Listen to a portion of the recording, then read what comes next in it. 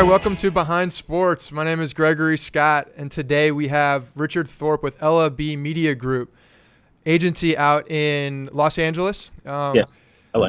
Absolutely. Can you can you tell us a little bit about uh, about the company and maybe give us a little bit of background on on you and how you got into the industry? Oh, sure, absolutely. Um, so Ella Bee Media Group, we're a sports marketing and PR agency. So we work with athletes, you know, entertainers, actors. Um, we work with them on branding and finding off the court or off the field opportunities um, that can help transition them into careers after they play their sport or after they do their primary jobs of acting.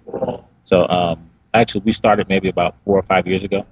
Um, I got started in it through I, I used to intern for um, a record label in Atlanta, and uh, you went across the country. Different, totally different field, but um, I started working in music, and I really love sports, so I kind of transitioned that into um, working with a sports agency out in Atlanta at the time. You know, learn how to recruit, learn how to market. You know, um, learn how to put portfolios together for athletes. Um, ran into my business partner now in Atlanta, and um, we decided she was you know she was on the same path as far as PR. Okay. Decided to kind of put our company together or our talents together and start a company, and uh, we started that about four years ago, and here we are. That's awesome. now in LA, so.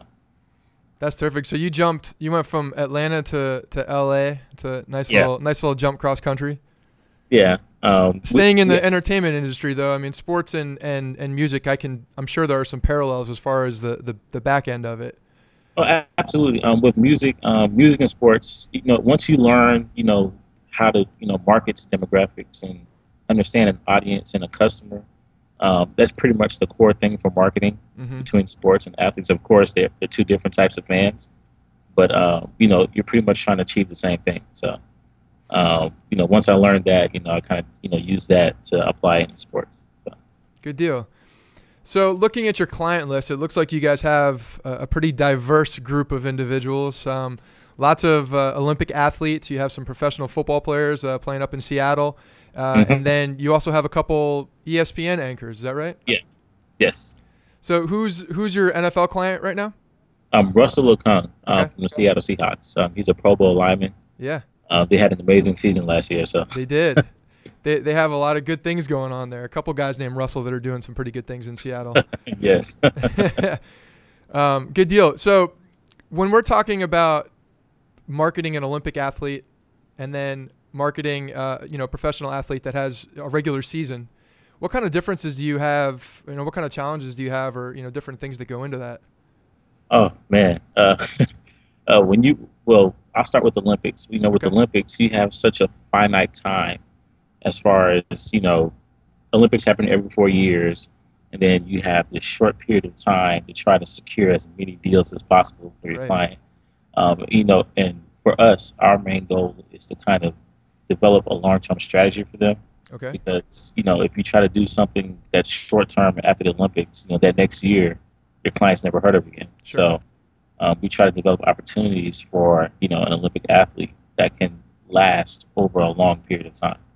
And with a, with an NFL athlete, for example, a professional NFL athlete, they they're on TV 17 weeks out of the year. You know, maybe even 20 weeks if you know if they're going to the playoffs. Mm-hmm. So you have an opportunity to leverage those media opportunities and that media value into doing, you know, opportunities, branding, marketing for that client. So, um, you know, with the, like I said, with the Olympian, you know, you have to use a short period of time. Sure.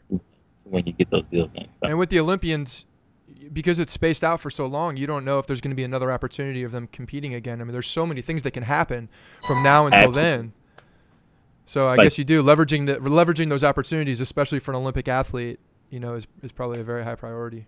Yeah, um, you know, sometimes you know, you know, with, with everything happening every four years, there may be an injury. Right. You know, there may be you know something happen with the sport. You know, or for example, you may have a sport that's not televised even after the Olympics. Sure. Sometimes Universal Sports may cover an event, they may not cover that. So your, your athlete pretty much is obscure you know, after the Olympics, and now you're you're trying to find a way to put them back in the spotlight. Yeah. So that's unbelievable. That's that's pretty cool. Um, so specifically, when you're working with the NFL, do you have any anything that you guys are, are really gearing towards when you're looking for endorsements um, for you know a defensive player up in Seattle? What, what kind of opportunities do you guys look for?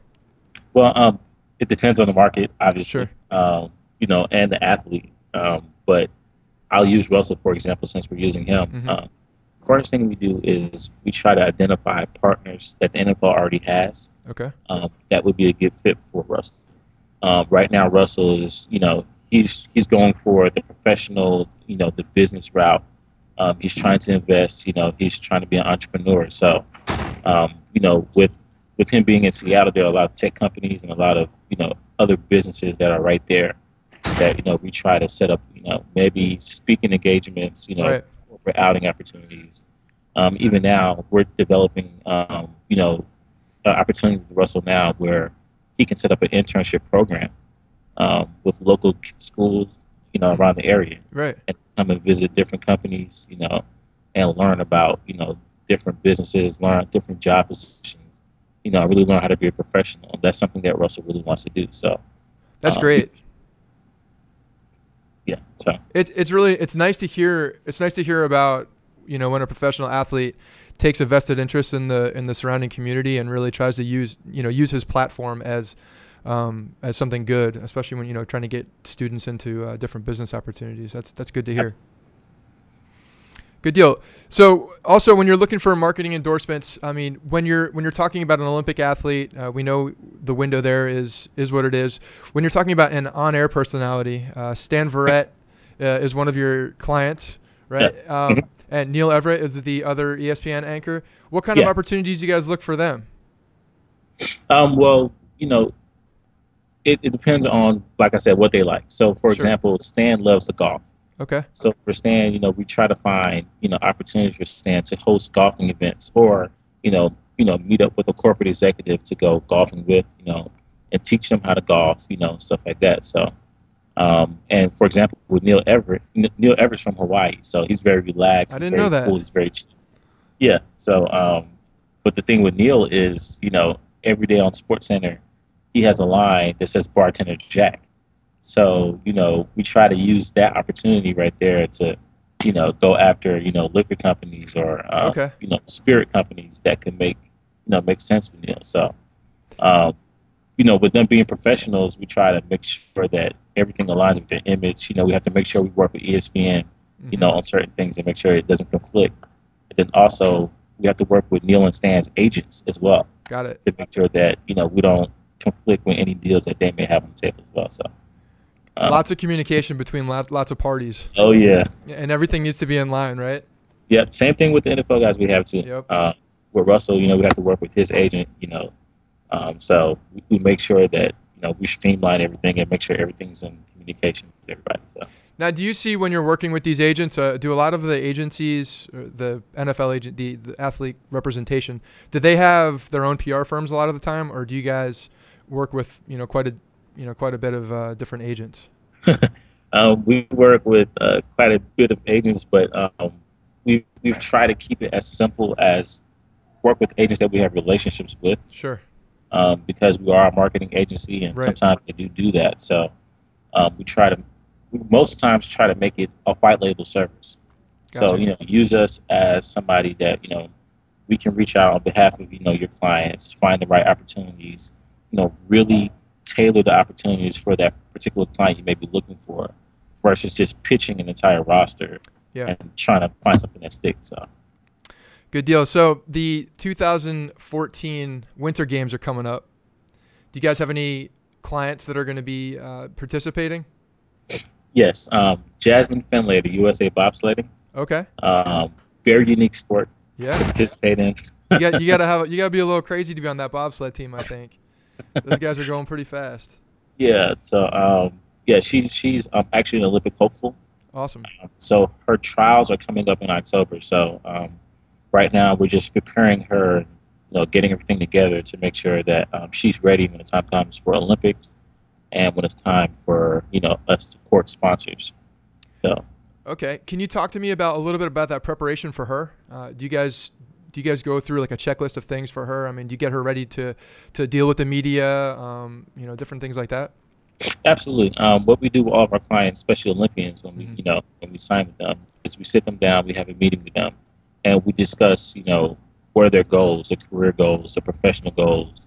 You know what are they looking for for you know outside opportunities you know out of their sport, and then we sit with them and we plan out you know the next two years. You know the year with the Olympics and the year after the Olympics, and kind of give them a roadmap and what we're trying to do.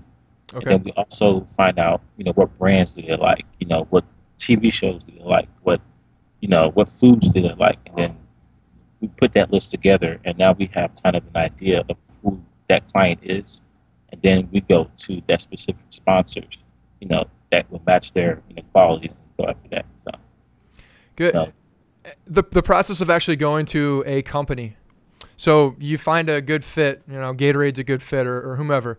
You, and then what's the process of actually going and speaking with them? Are you talking with their brand ambassadors of the of the you know of their actual company that deals with you guys? Um, you know, or is there a, a large chain in order to get to that? Um, it depends. Um, some brands that you know you work with, you may end up talking directly to their you know chief marketing officer or vice president of sales directly. But then you have companies like your Procter and Gamble's and Sure. you know your Coca Cola's. Well, actually, Coke has their own you know their own in house, but Procter and Gamble uses an outside agency to deal Okay. with talent negotiations. So it's more so just knowing who to talk to Sure. for different brands and then you know learning your ways in and out because sometimes you can reach out to a company and you get passed down to one person you get passed down to another person you get passed down to one agency Yep, I, I can imagine. I can So- absolutely imagine. so you know Well, great. That's that's that's good stuff.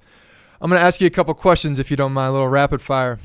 sure Um, so we'd like to ask everybody on the show about their their career and and find out kind of what the most unique experience or outlandish moment you've had in your professional career. okay um most outlandish experience for me um i've actually had two but this Okay. one is most recent i guess All right. um the new orleans super bowl uh, Yeah. we just had this this past year Mhm. um we went to an event with a client um an olympian he's a long jumper Okay. and um, he's a big fan of Jay Z. So um, as you can imagine, how hard it is to get to Jay Z. I'm sure. So uh, we actually um, decided to go to an event early, and um, you know Jay Z's talking to a group of people, you know, to his you know his friends, and uh, I tried to find the, the best way to get to him. So I lean over the, the security ropes and yell Jay Z's name. he looks at me and he gives me like a long stare, and then he comes over and you know, and he talks to my client, and for that brief period of time. I thought I was going to get thrown out the event because That's like funny. nobody calls him like that, you know, and yells at his name like that. So, um, you know, for me that was kind of like, whoa, you know, that was that was different. So, Hey, you got the intro right. It worked. yeah. So at all costs. That's awesome. That's great. Um, cool. So obviously you're a big sports fan. You wouldn't be in the industry if you weren't.